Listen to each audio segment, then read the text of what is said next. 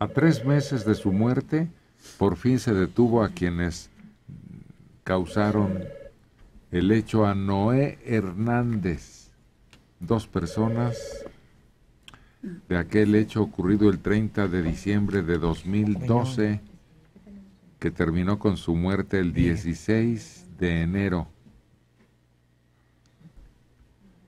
Diego Medina y Gregorio Pérez son los responsables de haber agredido a este medallista Noel Hernández. No le oigo.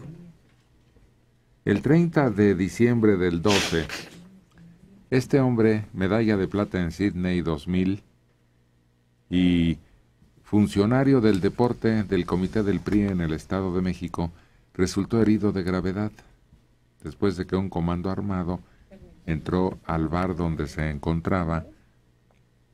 El saldo de la agresión fue dos muertos y dos lesionados, entre ellos el ex marchista que recibió un balazo en la cabeza. ¿Se acuerdan cómo lo vimos salir con un parche en el ojo porque los médicos dijeron que definitivamente no habían podido salvárselo?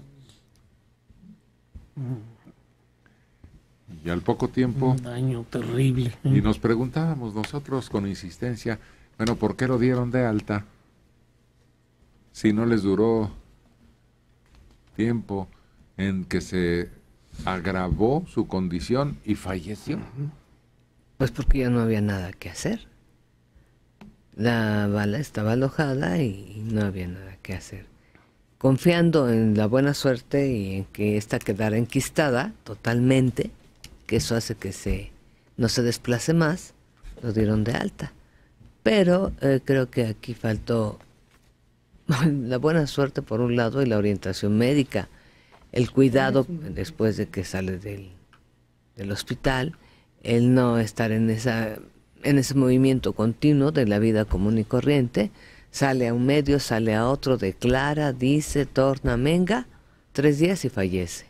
Oh, pues, sí, lo vimos salir, lo vimos entrevistado, oímos su voz. Y pues tenía muchas ilusiones él. Por eso nadie se explicó en el momento en que reportaron su fallecimiento, no lo creíamos. No, porque lo vimos bien, con la pérdida de un ojo, consciente de esto, limitado, pero eh, racionalmente y platicando se escuchaba un hombre bien, en buen estado, sí, pero aquel desplazamiento de, de la bala pudo ser lo que provocó la diferencia entre estar en los medios y, ya no estar en medio. Pues otra víctima de esa amenaza que sienten ahora todos los lugares de este tipo. Sí. De, de rango muy elevado, de humildez, de todas maneras.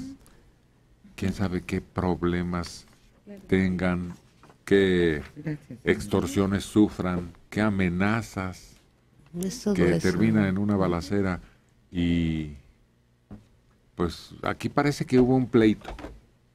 Aquí sí parece que hubo discusión, se enfrentaron con ellos, pero los dos sujetos culpables, hay un tercero que es buscado, andaban armados y es que se dedicaban a eso, a asaltar camiones o algo así. Uh, bueno. ya es otra cosa y coincidió con que estaban en el mismo lugar.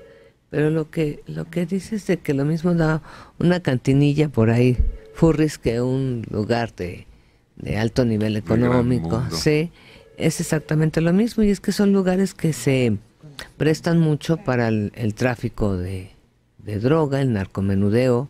Son lugares que se prestan para explotarlos en, en una cuota que tienen que pagar.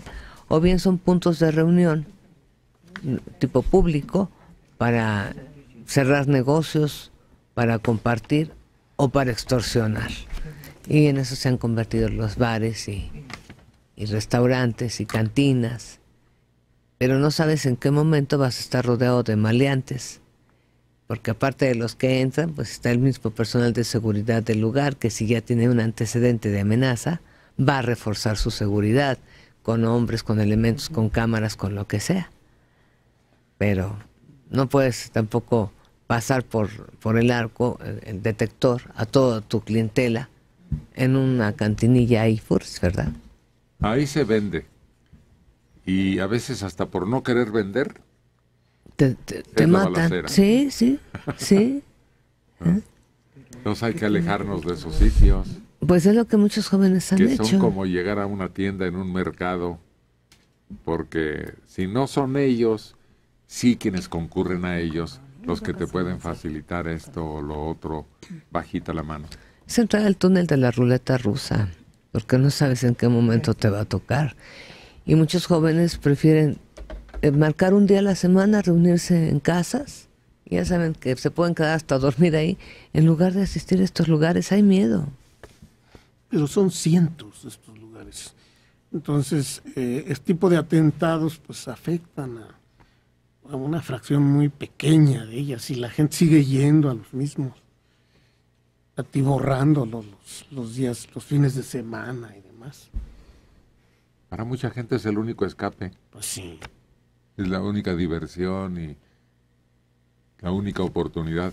Como pertenecer a un club, desgraciadamente. Pues Pero esa connotación viene teniendo. La tensión va en aumento en Venezuela. Hay acusaciones de que Maduro es responsable de muertes registradas durante las protestas. Es más, Capriles ya se queja de que teme por su seguridad,